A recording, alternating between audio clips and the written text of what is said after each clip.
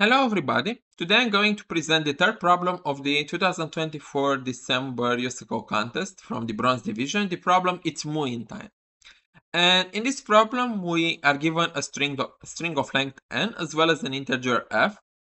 And basically at the beginning we need to find out how many substrings of length 3 have the pattern xy, xj, xj with xy, xi different from xj and they show up at least f times. So for example, for the initial configuration, we have the two moves and we can, for example, have a, let's say OOM or even three O's because they don't respect the pattern or many other options.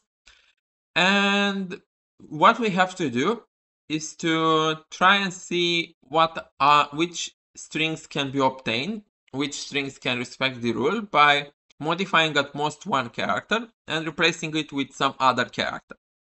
And basically, in order to do this, we will have to be very careful about how to implement this solution because the constraints are not very big and also the strings have length 3. So if we can find a way to represent the strings without much of a problem while also being careful uh, taking in account all cases properly, we solve the problem.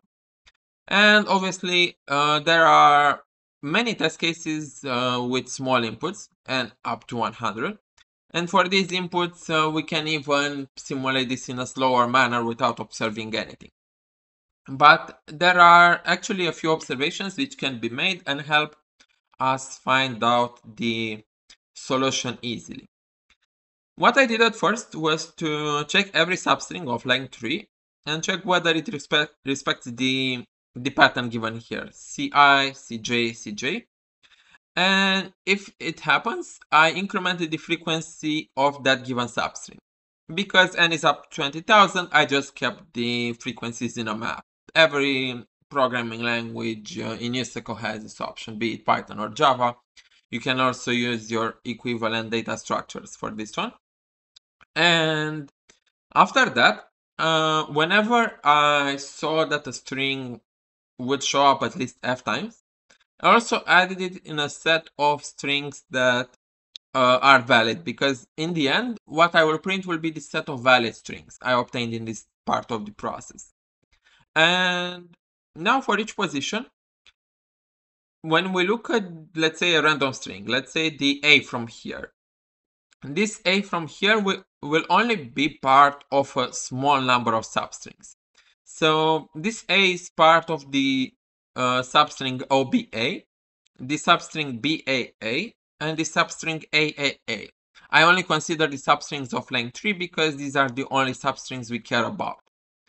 And now for these three substrings, changing A to another letter will actually affect the number of uh, occurrences for each of these characters, for each of these strings. But in this case, only the string uh, BAA respects the pattern. So when we replace A with another letter, we will have to subtract one from the number of occurrences BAA has. And now, by using the fact that we only have to deal with uh, three substrings during each uh, possible modification, what we can do is to actually try each new letter from A to Z. And basically for each letter from A to Z, you will increment the frequencies of the new substrings that respect the pattern and are actually good to be used. For example, if you replace A here by B, this OBA substring becomes OBB, which also respects the pattern. But at the same time, uh, for example, you also have BPA, which uh, doesn't respect the pattern anymore. But you also have BAA, which now respects the pattern. So you lose one string, but you gain two more strings. And just like with the other strings, if you get a string which will now show up two times, or at least two times here, or on a more general basis, at least f times, you can add it in the set of the valid strings and it will be printed at the end. And after you do that, you will need to be very careful to avoid counting strings multiple times. And also you will need to be careful to undo the changes. And these things are things that you will see in the solution I have that it's very important to deal with them in a manner that allows a relatively smooth uh, bug fixing in case bugs occur. And this actually can be coded once you uh, implemented the initial steps and the changes. It can be coded then with some relatively easy uh, fixing and some relatively easy coding. And basically I have the frequencies for each string as well as the set of valid strings. Here I find the set of initial strings and you will see here that this uh, this sequence of code is something I repeated many times during the implementation. And now for each uh, for each letter, we undo the updates.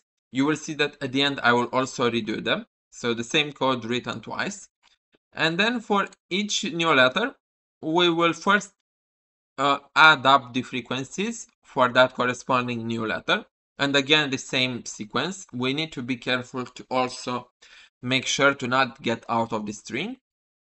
And after I'm done with that letter, I do the same thing and I subtract one from the frequency. And again, this is something uh, very important to have in mind that for these kind of problems, especially if you have to deal with multiple, uh, let's say updates or just simulating the process for a few strings at a time, it's enough to just um, simulate this and be very careful to avoid any very slow operations or in general any sort of complications because for problems like this it's very easy to overcomplicate your implementation and end up having to spend a lot of time debugging. And after I managed to do all of these things, I submitted it and just like with the other two problems, I passed from the first try. So it was relatively easy to uh, it was relatively easy to get it done and obviously uh, it's uh, I would say the hardest problem from the from this contest, but also we need to take note that uh, the second problem was arguably a bit more difficult on the idea side, while this one was uh, more difficult on implementation side.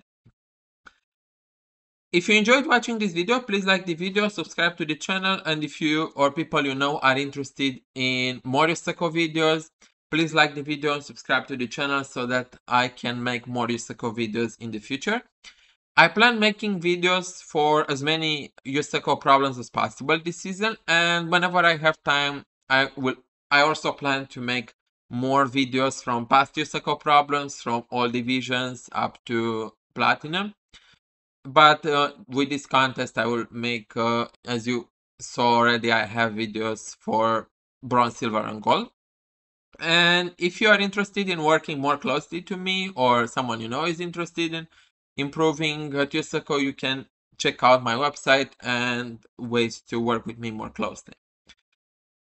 Until the next time, uh, good luck with the next USACO contest. I hope you found my videos useful. If you have any suggestions, please leave them as comment here or or on any of the other USACO videos I made. And until the next time, stay safe, happy holidays, and see you next time. Cheers.